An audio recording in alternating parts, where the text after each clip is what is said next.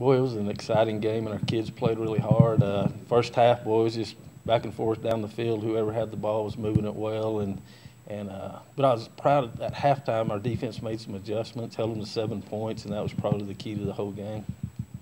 What a difference a, a Rowdy Vaughn makes when you have him back in the lineup. Yeah, I mean it's having him and our middle linebacker helps, but but Rowdy's a player, man, and, and he's a gamer, and, and uh, love to watch him compete. And anybody that comes and watches our game will feel that same way. So we tried to stand in District Two five A on their head, now it's, you guys win, we go to five-way tie to close out the season here.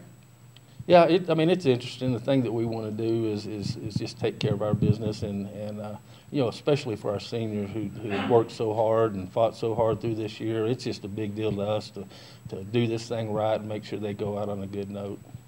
A lot of teams might have checked it in. How pleased are you with the guys for kind of answering the bell here late? You know, it's just not who we are. You know, people like to like to talk about, you know, uh, tradition and things like that, and culture is a big word and all that. And culture show it shows when you're winning, yeah, but it also shows when you're not.